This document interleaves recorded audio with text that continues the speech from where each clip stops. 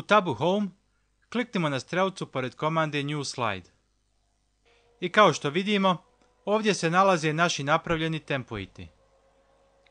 Započnemo unos pitanja tako što ćemo kliknuti na slide pitanje.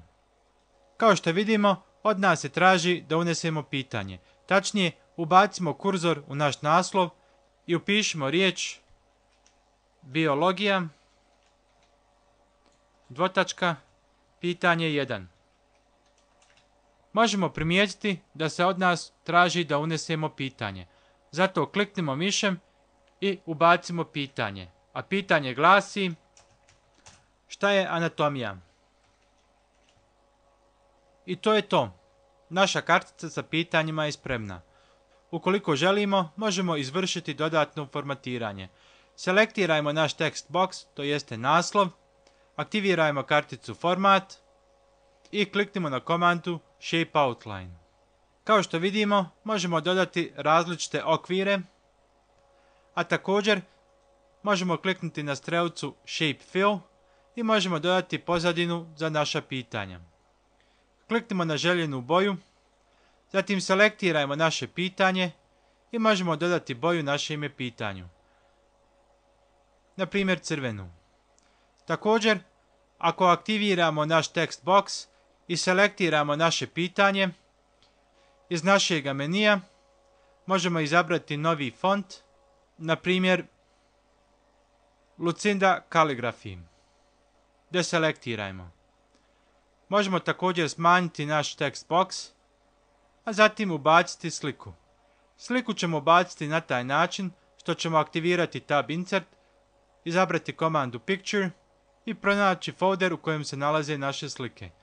Nama je potrebna slika anatomije, zato je selektirajmo i kliknemo na dugme Insert. Prilagodimo sliku našem slajdu.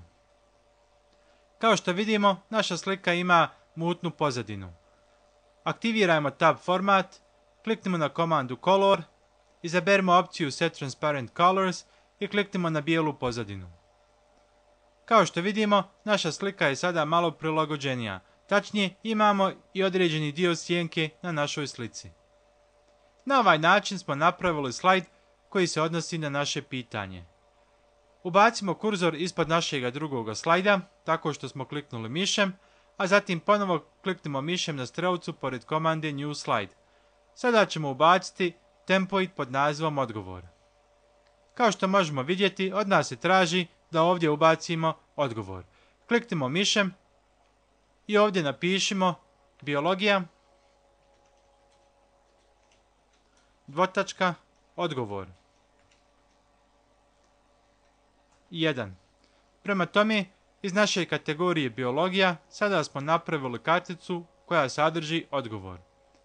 Ubacimo kurzor i odgovor na naše pitanje šta je to anatomija je sljedeći.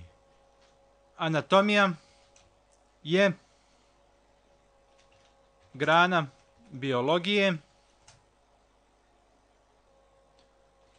koja izučava strukturu živih organizama. Tačka. Selektirajmo naša slova i promijenimo font. Možemo također izabrati Lucinda Calligraphy. Deselektirajmo naša slova i pomjerimo text box. Deselektirajmo naš text box i aktivirajmo sada naslov našega slajda. Ponovo aktivirajmo i zatim kartici format, izaberimo opciju Shape Fill i dodajmo pozadinu. Selektirajmo naša slova i dodajmo crvenu boju. Deselektirajmo. Aktivirajmo tab Insert, kliknimo na komandu Picture i sada možemo ubaciti sliku skeletona. Prilagodimo našu sliku slajdu i deselektirajmo. Kao što možemo vidjeti, naš slajd sa odgovorom je sada gotov. U ovom je slajdu po automatizmu imamo link koji nas vraća na početak, to jeste na naš prvi slajd. Sa ovim smo završili sa pravljenjem kartica, pitanja i odgovora za kategoriju biologija. Na ovaj isti način bi napravili slajdove za sva ostala pitanja i kategorije. Tačnije, naša igrica bi imala oko 33 slajda. Na kraju moramo napraviti link sa našeg glavnog slajda, to jeste naših kategorija, na naša pitanja. To ćemo uraditi na sljedeći način. Aktivirajmo naš tab, selektirajmo naše pitanje, u našem slučaju broj 1, a zatim markiramo broj 1. Desnim klikom miša otvorimo listu, izaberimo opciju Hyperlink i kao što vidimo otvara se dijaloški prozor. Aktivirajmo opciju Place in this document i pronađemo pitanje na koje se Hyperlink odnosi. Budući da je ovo kategorija biologija i naše prvo pitanje, selektirajmo i kao što možemo vidjeti, kada kliknemo na broj 1, doćemo na slajd koji zapravo u sebi nosi pitanje. Potvrdimo naš izbor. Deselektirajmo. Ovo isto je potrebno uraditi i sa svim ostalim pitanjima, odnosno slajdovima. Jednom kada smo ubacili sve ove slajdove i linkove, našu igricu pokrećemo putem tipke F5 na tastaturi ili klikom na tab Slide Show i komandu From Beginning.